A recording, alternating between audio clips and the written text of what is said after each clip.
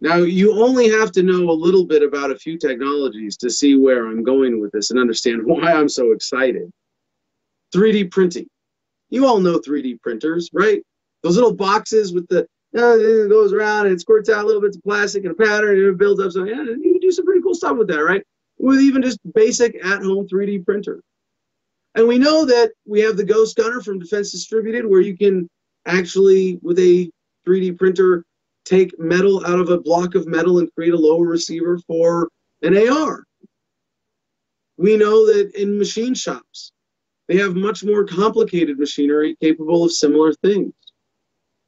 We also know that in laboratories, we already have molecular level 3D printing.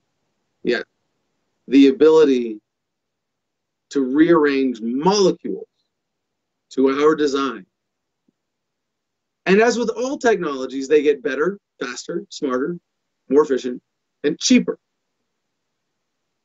So combine that with these computers interfacing with your brain. The library of stuff. What is it? The encyclopedia of things on the internet that you can download files like the Liberator from Defense Distributed and 3D print a working firearm.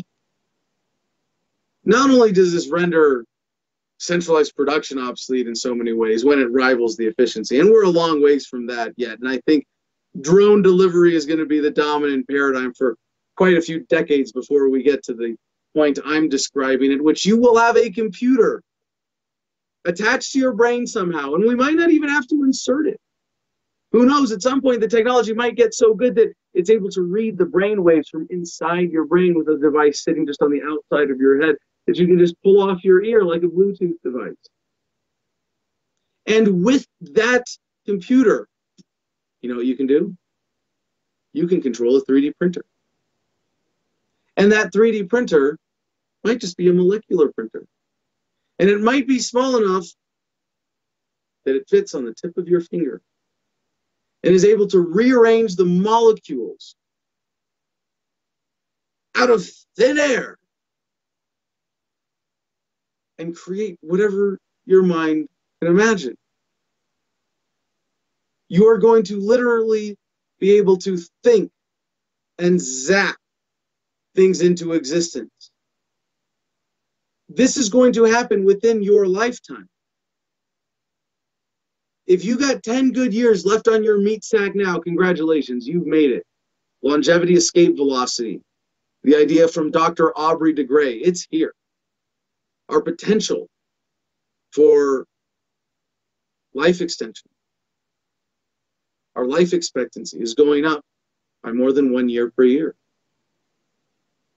You might die in 10 years if medicine progresses nothing in 10 years. But in 10 years, we will have pretty much cured all of the things that 80 year olds die from in terms of organ failure, heart failure, brain degeneration. Maybe even at the cellular level. At the cellular level, we can manipulate the RNA, the DNA in our very cells, and the telomerase at the end of our chains of our, our genetics can be modified so that it doesn't run out so that we don't have aging as we know it today. We are on the verge of defeating aging itself. If you're watching this right now,